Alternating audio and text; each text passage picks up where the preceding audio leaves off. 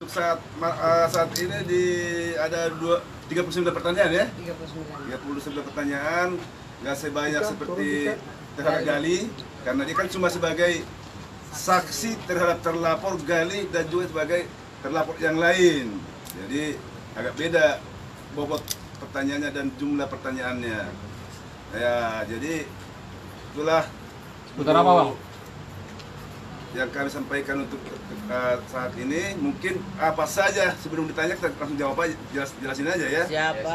apa saja yang kira-kira poin-poin pertanyaannya? Sebenarnya nggak jauh-jauh beda karena ini kan mengkait keterangan saksi terhadap terlapor Gali jadi uh, pertanyaan pertama dari awal komunikasi pertama hingga sampai di kantor di Sentul kantornya Reutami ya itu tentang itu siapa yang uh, komunikasinya komunikasinya sepanjang itu. Setelah sampai di situ terkait dengan pembuatan konten YouTube. Sampai durasi uh, selesai durasi yang 32 menit.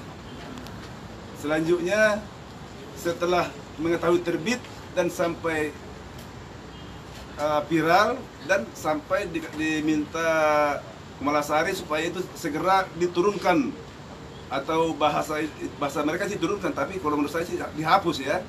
Nah, jadi itulah poin-poin pertanyaannya. Kalau secara detail untuk pertanyaan dari pertanyaan mungkin kurang etis kalau kami sampaikan di, di sini. Mungkin itu kan karena ini kan udah masuk ranah hukum jadi ya mohon maklum lah rekan-rekan media supaya jangan terlalu uh, mempertajam pertanyaan tentang ke sana ya karena kami pasti tidak akan jawab ke situ. Kalau mau mau ada jawaban silakan langsung ke pendidiknya. Ya itu yang kami bisa sampaikan. Mungkin ada sebelum tanya juga ada mau sampaikan karena kemarin kan banyak pertanyaan yang belum kami jawab. Terkait terkait adanya statement uh, Bapak Kombes Argo yang menyatakan di dalam BAP-nya bahwa Gali Ginanjar telah uh, mengakui perbuatannya dan dan dengan motif untuk mempermalukan virus. Jadi ini tentu statement ini sangat kami sayangkan, sangat kami sayangkan karena harusnya kan karena ini kan udah masuk ranah ranah publik. Jadi harusnya ini tidak uh, udah masuk ke dalam ranah penyidikan, harusnya ini tidak harus dibuka ke dalam publik. Bagaimana nanti kalau begitu? Kan ada bisa lagi ada bisa pertanyaan kan?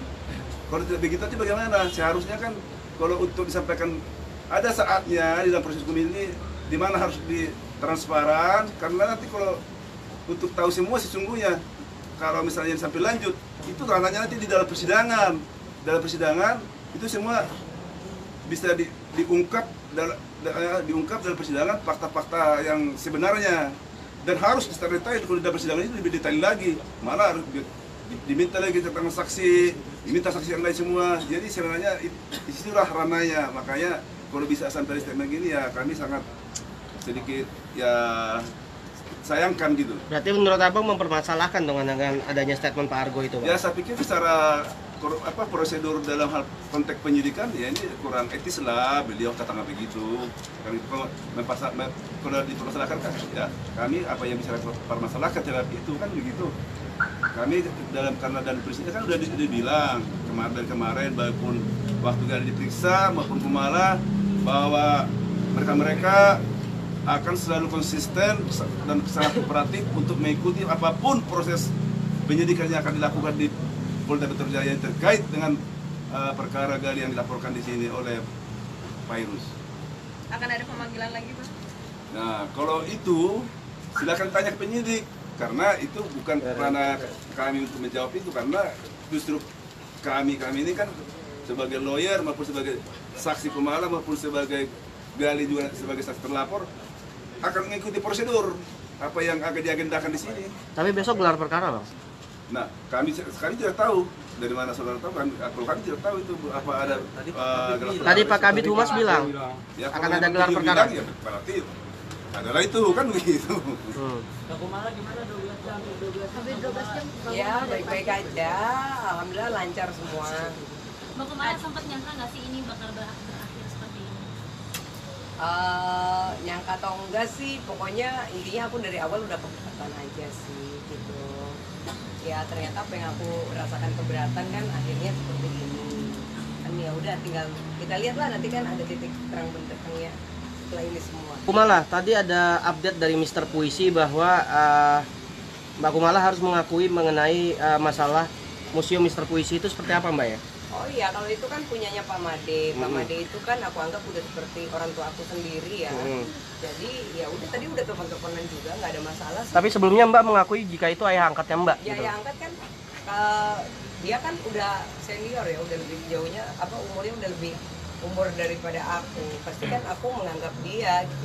Iya, ketika Mbak mengakui itu ayah angkatnya, Pak Mada pun akhirnya mengupdate bahwa dia cuma memiliki satu anak angkat gitu loh Mbak. Makanya sejak awal Mbak tidak mengakui Gini, kalau gini, itu dengerin dulu, gini gini dengerin dulu. Hmm. Intinya aku sama Pak Made itu baik sekali. Mungkin kalau dilihat dari Instagram Instagram seperti itulah. Jadi ya udah sekarang kalau aku sih nggak mau bahas itu ya, karena aku sama Pak Made baik-baik aja gitu loh. Itu aja. Kayak kasusnya bakalan berlanjut. Jadi jangan digiring-giring untuk seolah kita jadi ada permusuhan atau perdebatan itu kan rumah juga dipakai syuting kan nggak ada masalah gitu. Kenapa harus orang yang pada. Enggak tidak menggiring Mbak, tapi menjawab. tidak menggiring, tapi kan Iya, pertanyaan tapi netizen bahwa itu itu. sebuah kehaluan Mbak. Kaluan gimana? Iya, Kan bahwa- syuting itu kan diizinin oleh Pak Made, emang buat dipakai syuting itu halunya dari mana? Yang halu mungkin berita-berita aja. Ruginya di mana?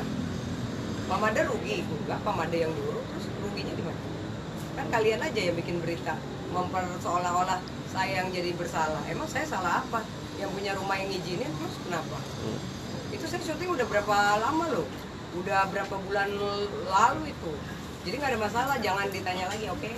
Ya, Kak Kumala kayak kasus bakalan berlanjut nih Kak Kumala. Saya sih nggak risih ya, selagi saya tidak merugikan orang, saya tidak menipu orang, saya tidak risih. Tapi buat teman-teman media, kalau sampai ada pertanyaan yang seperti tadi, saya udah nggak mau jawab lagi.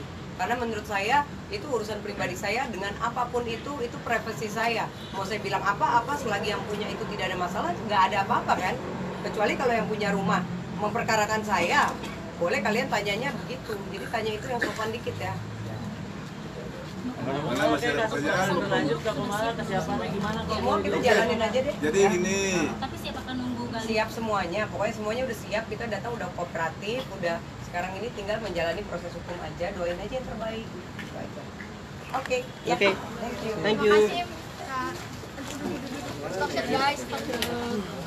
aduh enggak enggak enggak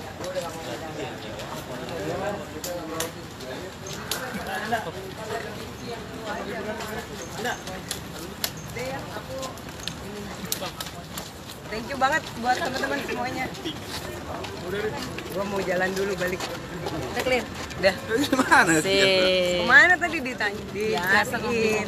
Tapi Mbak Kumala Udah pasti ya. akan menunggu Gali kalau misalnya amit-amit Ya udah nih sekarang Mbak. kita mah doain aja dulu yang terbaik kalian kenapa sih pada doainnya tuh jelek-jelek banget aku males Jangan ngomongnya doain jelek-jelek lah. kayaknya tuh apa gitu loh kita kan punya hak masing-masing gitu warga negara. Kenapa sih? Bukannya doain yang terbaik. Kayaknya kalau berita yang jelek tuh langsung doanya jelek semua. Ntar ditanya-tanya. Mendingan gua kagak nanya kagak ngomong deh. Udah dijelasin. Ya udah udah udah udah. Pokoknya doain aja. Ini udah tahap penyidikan kok. mau diapain lagi apalagi udah ya. Aduh nanyanya tuh kan nanya pokoknya kalau nanya gue yang positif positif kalau nanya yang jelek jelek gue nggak mau oke? Kayak tadi rumah apa kan gue yang tersinggung dong gila aja yang punya rumah aja nggak apa-apa kenapa kalian yang pada kepo sih emang gue nyuri apa aneh deh. Deh ya. Yuk yuk. Kayak gue nyuri rumah orang kayak gue ngerampok kali. Gila kali ya juga ya kan yang punya rumah mau